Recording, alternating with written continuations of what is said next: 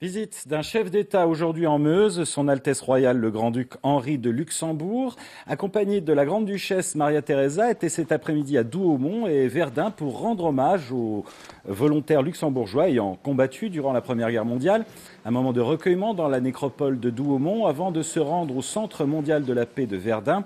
Le couple grand-ducal était accompagné d'élèves des écoles luxembourgeoises.